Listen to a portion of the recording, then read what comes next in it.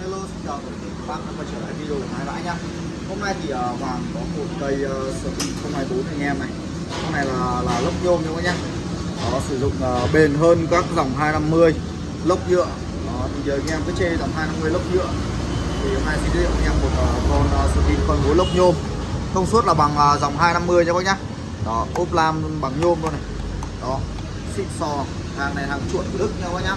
Con này thì uh, giá của nó là đang bán cho anh em nên là giá là 5 triệu ờ, uh, 600 ngàn. Bao ship tận nhà. Dòng này là sửa tin khơi 4 và có xả áp luôn nha các nhá.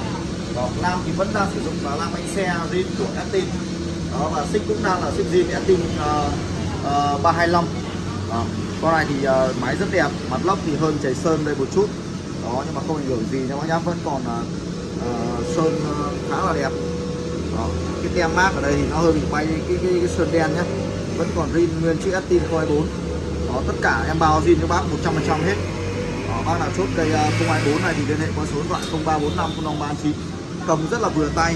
Và phần lam mình dư ra là cắt được à, 40 phân nhau nhé phần lam cắt là 40 phân. Đó, tổng chiều dài từ trong ra ngoài là 50 phân. Đó, tất cả em bao zin cho anh em 100% thì giờ sẽ test nổ cho anh em nghe chiếc máy con à, 024 này nhá. Giá chỉ 5 triệu 6 con này rẻ hơn cả một con à, Stin 250 có Stin 250 mới rồi là giá hơn 6 triệu. Có con này thì uh, anh em phải so sánh với các dòng Stin 260 nhá. Đó. Bây giờ xin ra test nổ cho anh em nghe tiếng máy. Bao lấy nổ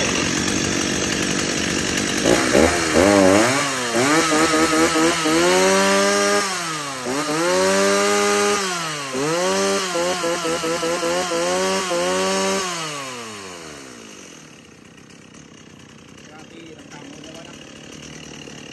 rất là nhẹ tay không có nặng mấy con này tổng trọng lượng nó tầm khoảng 6 kg luôn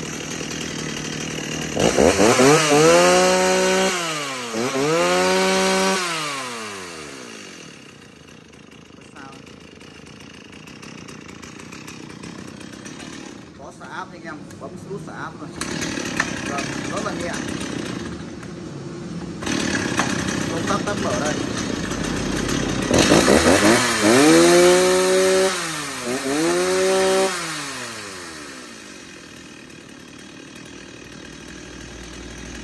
Bao ri anh em 100% và bảo hành cho anh em là 12 tháng sử dụng nha. Với điều kiện anh em pha rất tốt.